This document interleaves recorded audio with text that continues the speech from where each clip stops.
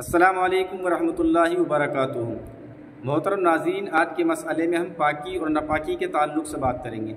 नाजरीन, वो अज़ा जिनको वज़ू और गसल में धोना फ़र्ज़ है। अगर उन अज़ा पर कोई ऐसी चीज़ लग जाए जो पानी को रोक देती है, पानी को खाल तक ना पहुँचने दे तो ऐसी चीज़ अगर जिसम पर लगी हुई है या उन अज़ा पर लगी हुई है जिनको वज़ू और गसल में धोना फ़र्ज़ है तो फिर आपका वज़ू और गसल नहीं होगा।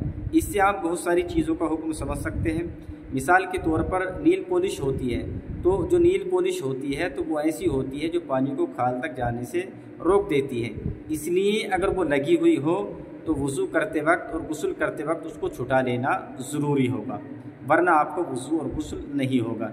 इसी तरीके से अगर किसी के हाथ पर इंक वगैरह लगी हुई है, जो पेन की इंक वाज़ात लिखते वक्त लग जाती है तो उस इंक का हुक्म यह है कि इंक पानी को खाल तक जाने से नहीं रोकती। इसलिए अगर इंक वगैरह लगी हुई हो और आप उसके ऊपर से वज़ू और गसल करें तो आपके वज़ू और गसल पर कोई फ़र्क नहीं पड़ेगा। लिहाजा आपका वज़ू और गसल हो जाएगा। असल वरहमल